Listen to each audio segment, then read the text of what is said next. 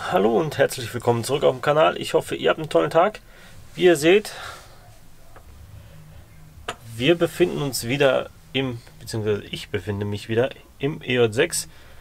Und ich habe euch ja gesagt, wir machen mehrere Teile aus dem Innenraum, beziehungsweise aus dem Ausbau des Innenraums. Und heute ist dran Lenkrad, Tacho und hoffentlich das Armaturenbrett schon. Ähm, ich muss da mal gucken, wie ich gleich ähm, vorankomme und dann schauen wir mal, dass wir das alles irgendwie rauskriegen. Ich habe die Batterie schon abgeklemmt. Sicherheitshinweis an dieser Stelle, ja, wenn ihr euch nicht sicher seid, macht es bitte nicht nach, denn ihr arbeitet im Falle des Lenkrads mit Sprengstoff und macht das wirklich nur, wenn ihr euch absolut sicher seid. Ich bin mir absolut sicher, dass ich weiß, was ich tue oder ich zumindest irgendwie eine Ahnung habe ungefähr. Und die Batterie ist sowieso schon extrem tot gewesen und da ähm, kam auch nirgendwo mehr was an, also noch nicht mal die Tachobeleuchtung ging mehr an. Also von daher gehe ich davon aus, dass ich jetzt hier auf der sicheren Seite bin. Ich habe auch nach Batterieabklemmen einmal drei Minuten gewartet. Soll man laut Werkstatthandbuch und zwar ganz einfach, damit sich der Kondensator entlädt, ja, also bevor ihr dann an den Airbag geht, noch ein paar Minütchen warten. Ja, ich werde jetzt mal die ganzen Verkleidungsteile abbauen und hoffe, dass das auch ohne weiteres klappt. Ich gucke mal, wo ich euch jetzt hinstelle, sodass ihr schönen Blick habt. Dann würde ich sagen, quatschen wir gleich weiter.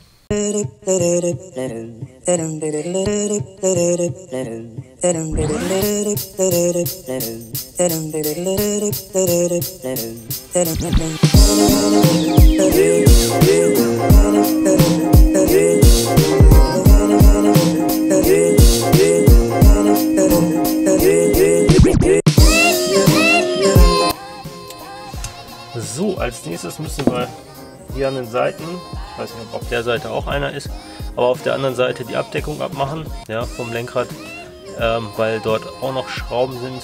Ja, das mache ich dann mal eben.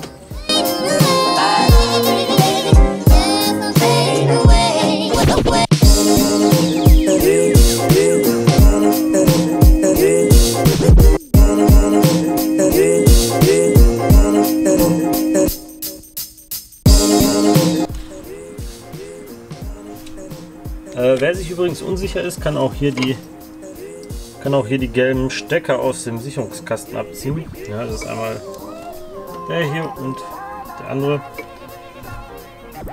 äh, weil die gehören mit zum Airbag-System. Danke übrigens Daniel für den Tipp. Ja, ähm, ja ich würde sagen, ich mache mal weiter. Also wenn ihr hier unten unterm Lenkrad die Abdeckung abgenommen habt, dann seht ihr auch schon hier quasi den Airbag-Stecker.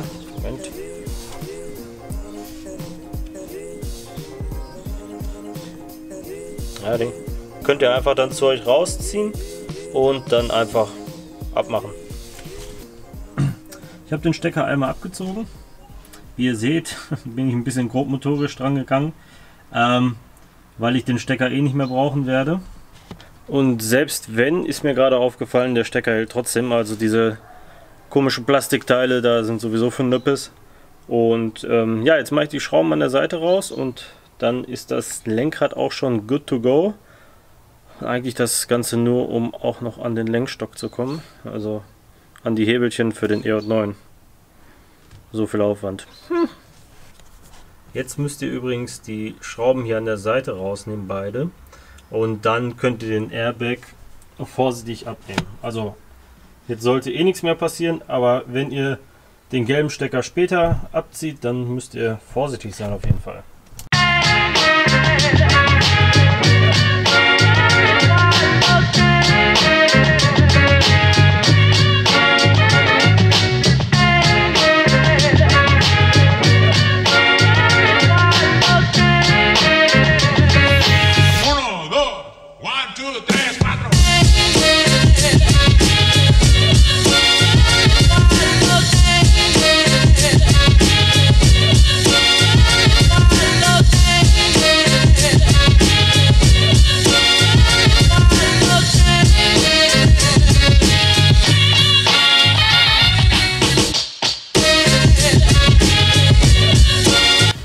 Unschwer zu erkennen ist der Airbag raus.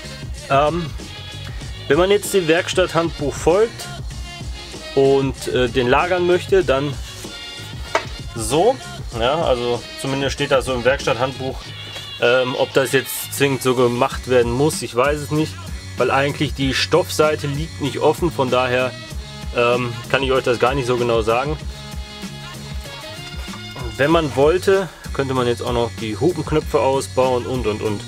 Ähm, also eine Menge Spielereien, die man jetzt hiermit machen könnte. Machen wir an dieser Stelle nicht, sondern wir machen direkt weiter mit dem Lenkrad. Und zwar machen wir uns da dran, das Ganze auszubauen. Ähm, für mich scheint es erstmal logisch, dass ich hier jetzt quasi Schrauben löse. Das werde ich jetzt auch als allererstes machen und dann schaue ich mal, wie das Ganze aussieht und wie es dann weitergehen müsste.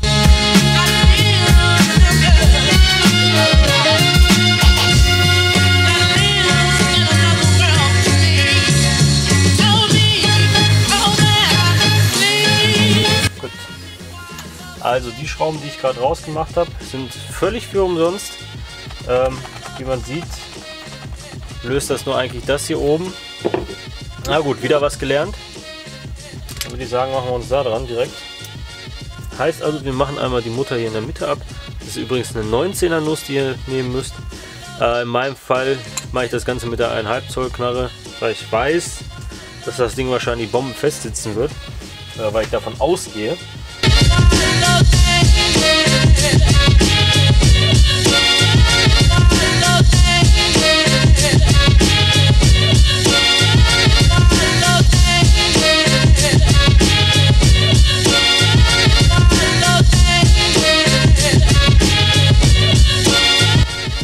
Ja, und dann den ganzen Quatsch einfach abziehen. Das habe ich jetzt schon an dieser Stelle gemacht. Ähm, ja, ging tatsächlich erstaunlich leicht. Leichter als ich dachte. Dann haben wir hier die ganze, die ganze Kabelgedöns, also auch hier jetzt vom, vom Airbag und so. Ähm, schaut auf jeden Fall, dass das oben ist. Ja, auch äh, die Lenkradposition merken, wenn ihr das Lenkrad ausbaut, beziehungsweise wieder einbaut. Ganz einfach, damit das Lenkrad nicht schief steht. Äh, wie gesagt, bei mir, ich bin gerade selber ein bisschen geschockt, weil das Lenkrad so einfach rausging. Ähm, falls ihr euch jetzt wundert, warum das so aussieht, habe ich euch gerade erklärt. Ich habe ja die Verkleidung versehentlich abgemacht. Das heißt, die schraube ich jetzt eben fix wieder dran. Ja, und dann gucke ich mal, dass wir dann weitermachen und hier ans Objekt unserer Begierde kommen. Ja, auch, auch hier heißt es wieder Schrauben lösen. Ich weiß nicht, ob man das jetzt so gut sieht. Also einmal die hier, die hier und die da unten. Und ich hoffe, dass das zumindest das wäre. Und ich das Teil dann zumindest abziehen kann. Ähm, ich bin mal sehr gespannt. Wie gesagt, ich habe das alles selber noch nicht gemacht. Von daher, ihr lernt es oder ich lerne es mit euch zusammen.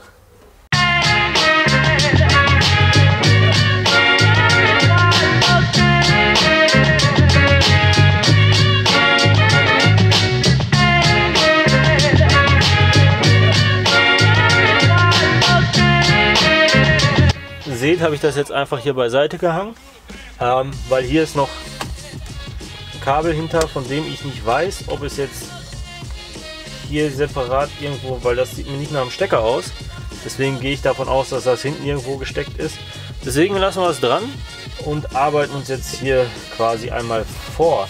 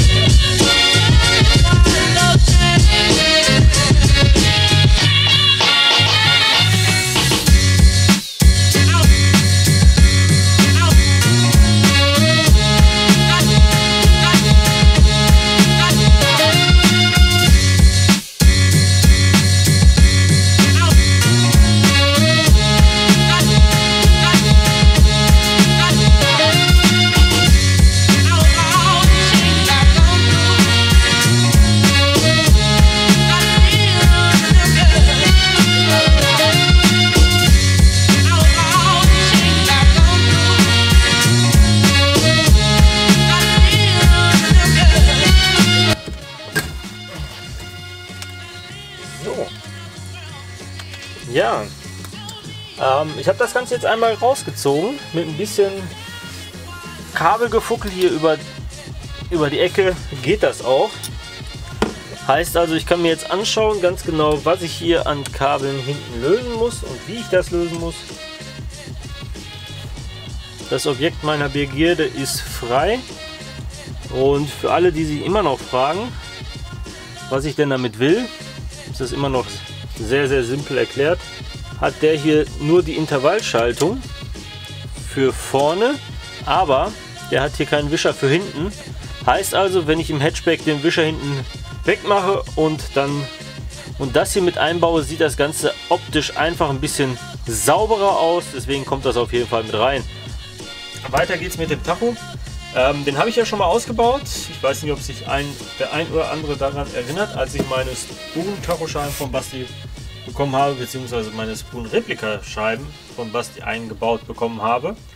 Und zwar muss erst der Rahmen hier ab, der ist hier oben geschraubt, hier unten geklippt. Einfach mit Schmackes rausziehen. Man kann auch, wenn man hier unten die Verkleidung sowieso ab hat, auch schauen, ob man die vielleicht von unten noch ein bisschen rausdrücken kann. Ja, bisschen ruhig mit Schmackes. Ansonsten einfach ziehen, passiert nichts. Ihr könnt das Lenkrad auch dran lassen, ja, also ihr müsst das nicht vorher abbauen, keine Sorge. Und äh, da würde ich sagen, das mache ich eben fix.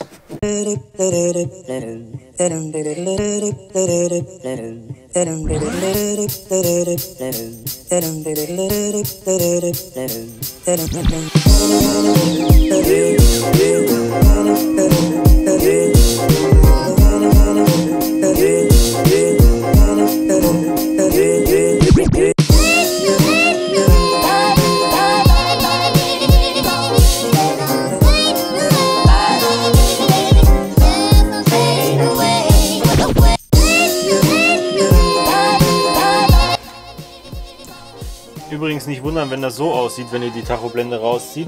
Ähm, das liegt daran, das liegt daran, dass das Metallschuhe sind. Ja. Äh, fällt schon mal nach unten in den Innenraum durch. Heißt also, ich werde den einen jetzt auch aufsammeln. Da haben wir den Verursacher. Also da haben wir das Problem. Einfach wieder draufstecken und dann ist alles Gucci.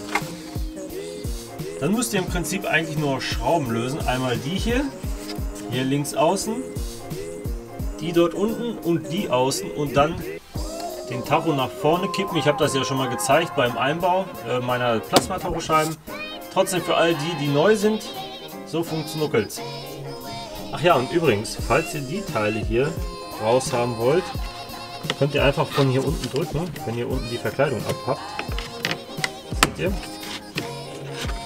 Und dann könnt ihr die einfach nach oben abziehen und rausnehmen, ja. Also nur noch mal zur Info, das geht auch da hinten bei dem Kollegen da hinten. Ja, der da.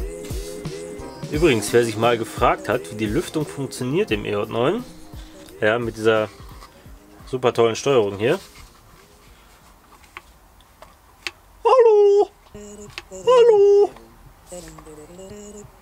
Du willst Luft? Bitteschön! Hallo! So, aber jetzt wieder zurück zum Ernst der Lage.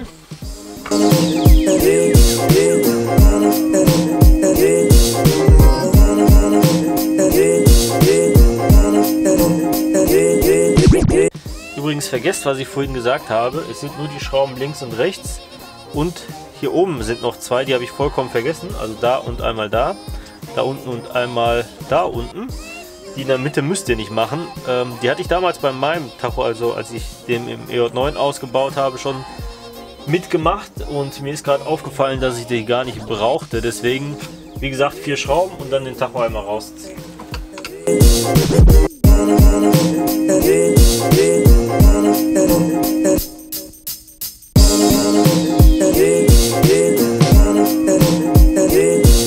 Themachen, äh, Thema Stecker abziehen.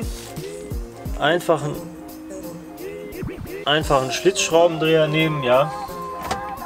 Hier unter die blauen Teile hebeln und dann könnt ihr die ganz entspannt abziehen.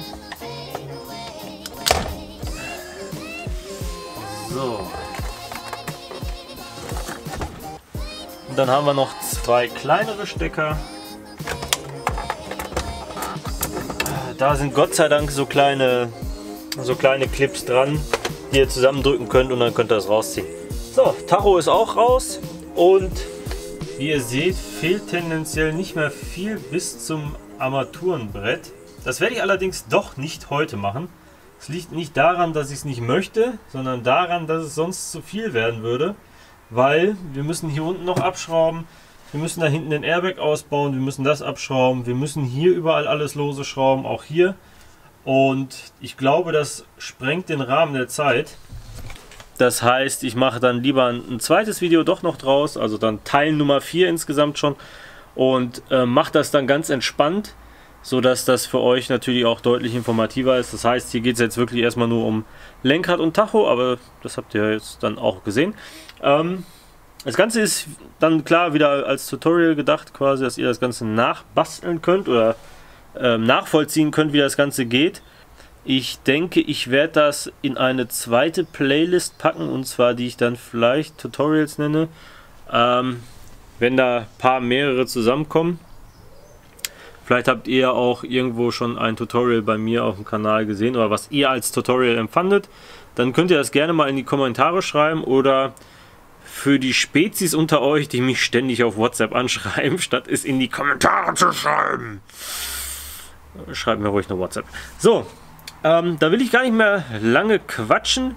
Ich würde sagen, das war's dann. Beim nächsten Mal geht es dann hoffentlich endlich ans Dashboard. Ja, und in diesem Sinne würde ich dann sagen, lasst gerne ein Like da, teilt fleißig, kommentiert fleißig. Ähm, ihr wisst es ja, wie es läuft. Na, und dann danke ich vielmals fürs Zuschauen und dann würde ich sagen, bis zum nächsten Mal. Tüdelü und tschüss.